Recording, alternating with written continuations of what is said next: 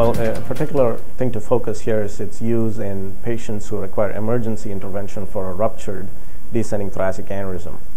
The interesting finding here is that uh, TEVAR was utilized in this high-risk subgroup of patients, and the primary outcomes such as mortality, complication rates, and failure to rescue were not different when TEVAR was compared to open repair. The key difference is there is a three times higher likelihood that these patients go home after the procedure, and in particular, this procedure was utilized in patients who are seven years older.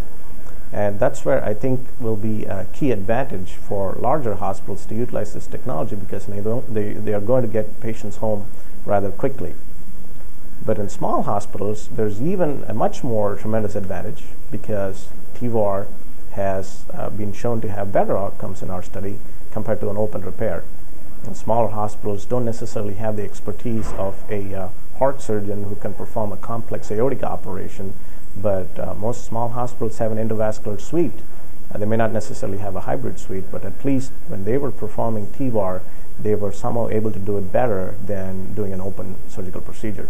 I still think it's probably quicker to, uh, to get a TEVAR stent deployed.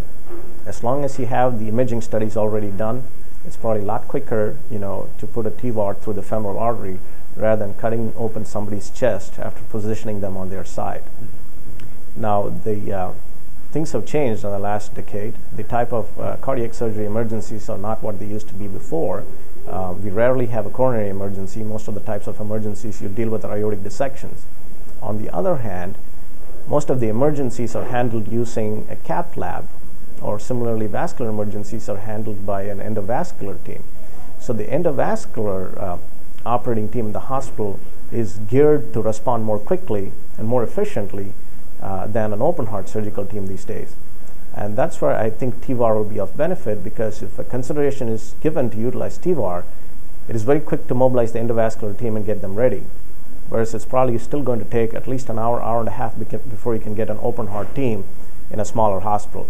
In bigger hospitals, may not be much of a difference. However, the key is to get the imaging studies beforehand.